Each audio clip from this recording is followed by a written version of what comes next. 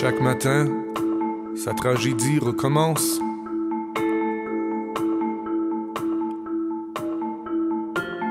Se lève tout de même et reçoit la gifle du jour.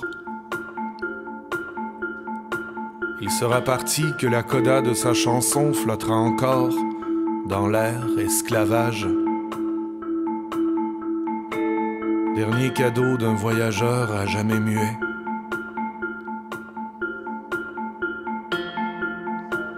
J'ai vu le soleil se lever dans tant et tant de pays.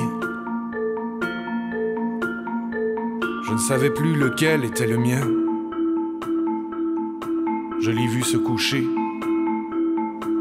Le jour passait comme une flèche et chaque soir me frappait en plein cœur comme le dernier.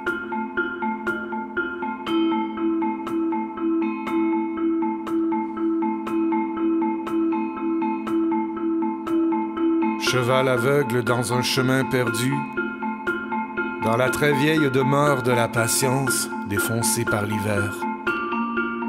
Sans enfarge, sans bride, sans mort, sans rien, certains politiciens entendent le soir la respiration de l'histoire.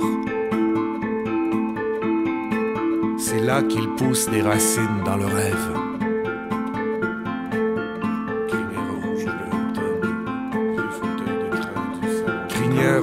De l'automne, vieux fauteuil de crin du salon des prêtres, debout dans l'invasion du froid, de toute part trahie, de toute part aimée. C'est là qu'il se sent de moins en moins seul.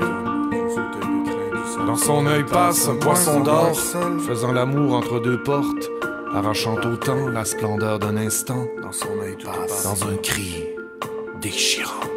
Entre deux portes, il se sent de moins en moins seul. Entre deux portes. La nuit traîne, le soleil dans son sac, chaque matin vidé.